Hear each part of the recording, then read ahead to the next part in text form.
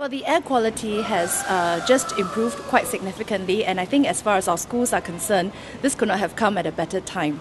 Uh, and I think uh, it uh, makes for a very promising start to the new school term.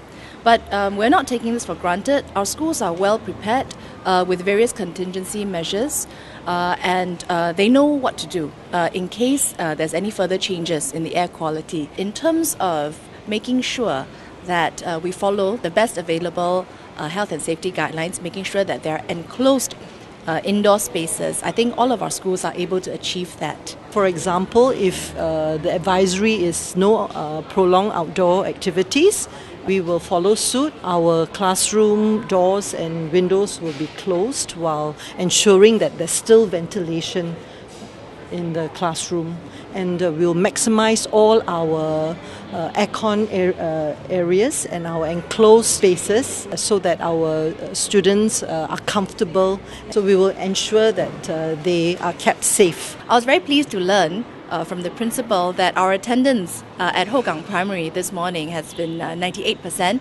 That is slightly better than the uh, usual average, and I think this shows that uh, our students are very ready to come back to school. Uh, but at the same time, it's always important to remain prepared for any contingencies.